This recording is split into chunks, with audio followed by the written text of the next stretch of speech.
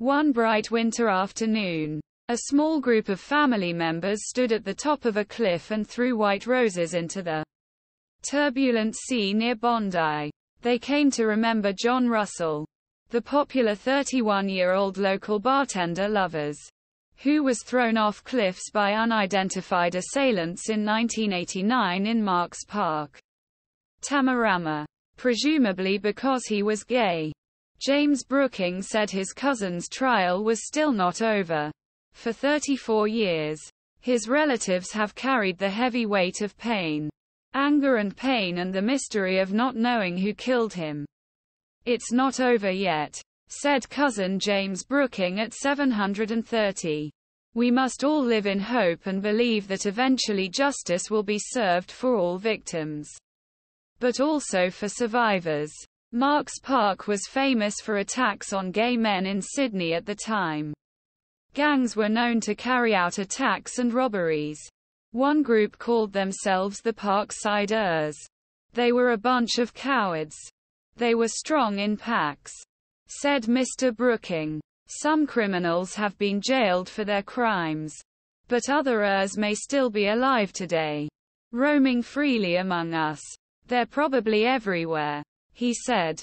You know who you're standing next to. John Russell's younger brother. Peter remembers the day police officers told him they had found John's body, which they identified at the Glebe Forensic Court. Life wasn't the same without her best friend. I suffered a lot for the first three or four years because I drank like a wild man. He said at 7.30 a.m. Joyful moments, such as the birth of grandchildren, came and went. But underneath it clearly stated this doesn't upset you. You have to put that aside. John and Peter Russell shared a close friendship. Since then, Mr. Russell has been tireless face of the family. Sworn to find John's or S until no one in clan was left. As hard as it is. That's what it is. It's been a very long and grueling 34 years get to this point. And anything that can lead us the closing path or any response is why we're here.